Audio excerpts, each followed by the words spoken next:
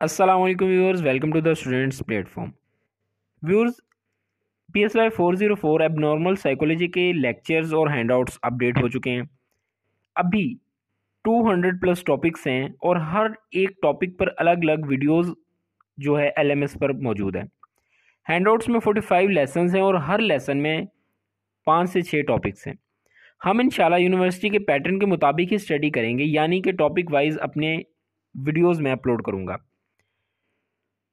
आज के लेक्चर में हम topic one abnormal psychology P S Y four zero four के टॉपिक वन को डिस्कस करेंगे, जो कि है एबनॉर्मल साइकोलॉजी का introduction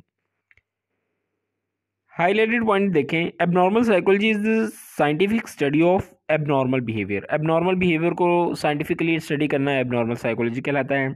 An effort to describe predict explain and change the abnormal behaviour of a human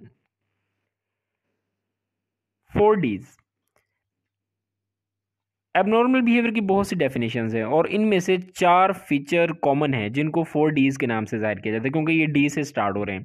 पहला है डेवियंस वो तरीका जो कि हमारी सोसाइटी से मुख्तलिफ़ होता है, यानी कि एक बंदे से जो इसकी सोसाइटी एक्सपेक्ट कर रही होती है, वो बंदा इसके बरक्स अपना बिहेवियर शो करता है। मसलन एक बंदे को फौदगी पर रोना चाहिए, लेकिन वो फौदगी पर हंसता है।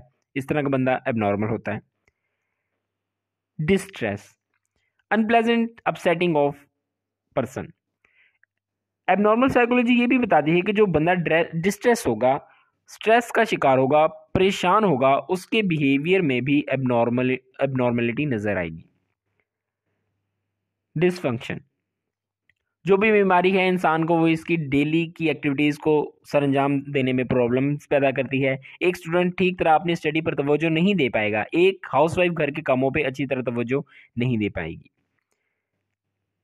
डेंजर डेंजर बाज़ात एबनॉर्मल बिहेवियर में जो का जिस जो इंसान का एबनॉर्मल बिहेवियर होता है, उसके अंदर वो खुद को भी नुकसान पहुँचा सकता है और दूसरों को भी। D S M five stand और diagnostic and statistical manual for psychological disorders इसके मुताबिक साइकोलॉजी की क्या definition D S M five को हम काफ़ी डिटेल से नेक्स्ट लेक्चर्स में पढ़ेंगे।